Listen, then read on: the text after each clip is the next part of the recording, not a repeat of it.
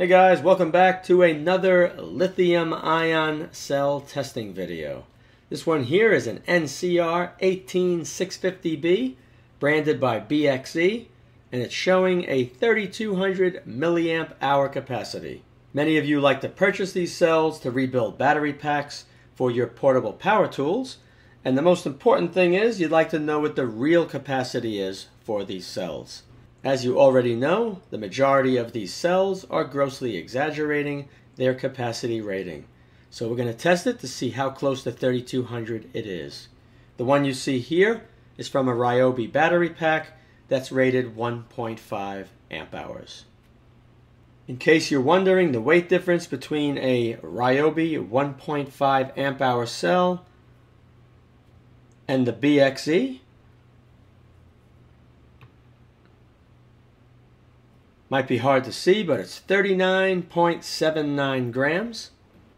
And the BXE is 36.4 grams, so about 3.39 grams less. Okay, you can see right here I have the 18650B cell fully charged in this cradle that I made a while back on my channel. If you haven't seen the video on this, a link has been posted at the end of this video.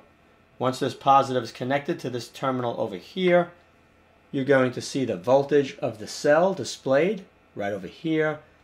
I'm going to be discharging at a 1.5 amp rate, and the test is going to run until the voltage drops to 2.8 volts.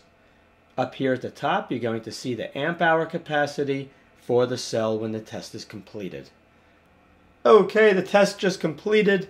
1.208 amp hours at a 1.5 amp constant current discharge rate, which is well below 3200 milliamp hours.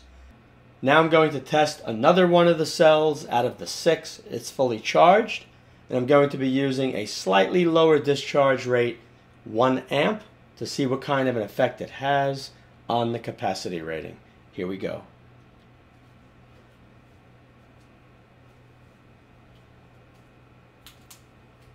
Okay, the 1 amp constant current discharge test has completed. And you can see at the very top where it says capacity, 1.255 amp hour. And that's only a little bit higher than the 1.5 amp constant current test. So you're going to be expecting around 1.25 amp hours from this cell. Because these cells are low in cost, you could pick up six of them for between 12 and $14 shipped. If you had to swap out the cells in a cordless power tool that used 1.5 amp hour cells, it would definitely make a decent replacement with just slightly less capacity. And guys, that is it. I hope you enjoyed this video. Now you know the real capacity rating for these cells. Thanks for watching.